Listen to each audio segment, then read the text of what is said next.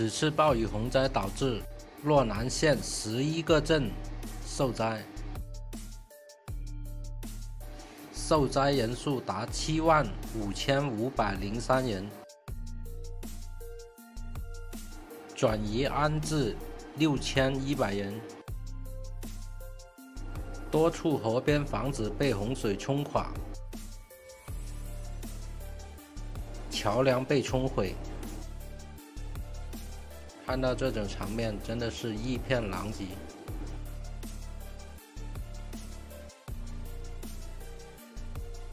今天山洪虽然退去，但是留下来的却是满目疮痍的状况。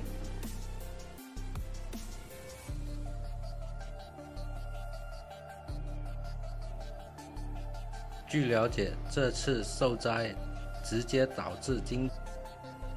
一座很小的桥梁被冲得面目全非，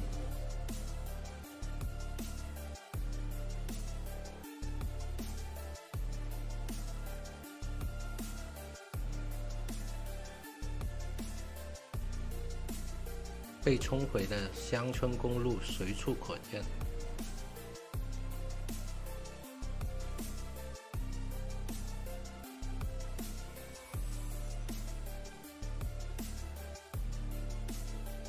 山洪直接把庄稼给冲毁，这是要面临绝收的惨况。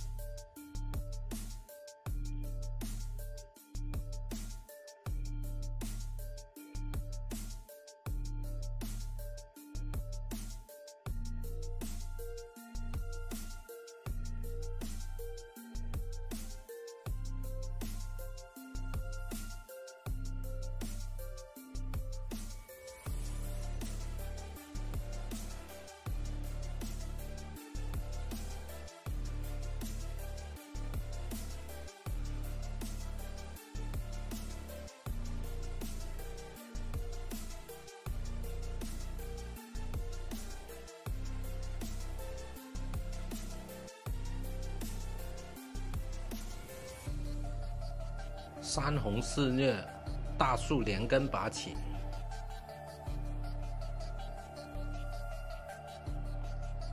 当地有关部门已经迅速展开了救灾。欢迎来到南疆见闻。陕西洛南县麻坪镇遭遇暴雨洪水袭击，当时最大雨量二百八十二点五毫米。